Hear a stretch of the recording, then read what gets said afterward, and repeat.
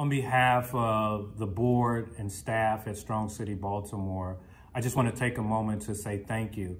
Thank you for all that you do to support our mission of building and strengthening neighborhoods and people. We couldn't do this work without you. Certainly, this last year has been uh, a year of growth, a year of impact, and some challenges for the city and for Strong City Baltimore.